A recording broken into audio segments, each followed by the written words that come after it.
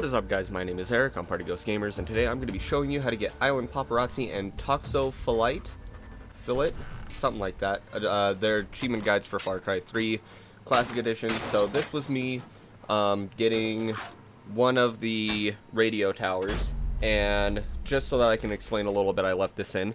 So, Island Paparazzi requires you to uh, tag 25 enemies with the camera, specifically with the camera. You have to do it with the camera, not just by aiming at them and tagging them.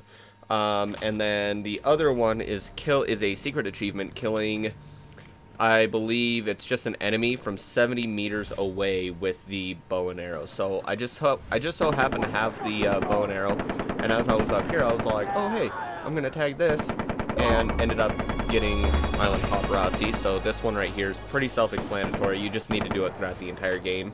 And then I was all like, oh, you know what? I'm going to get him with my gun. And I was like, no, you know what?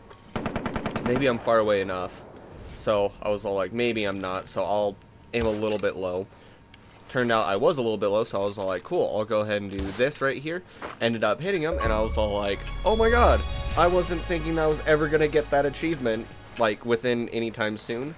So I was all like, I'm I'm so glad I was recording that. So now I have that. Anyway, that's the two achievements. Thank you guys for watching, and I'll catch you guys in the next video. Goodbye.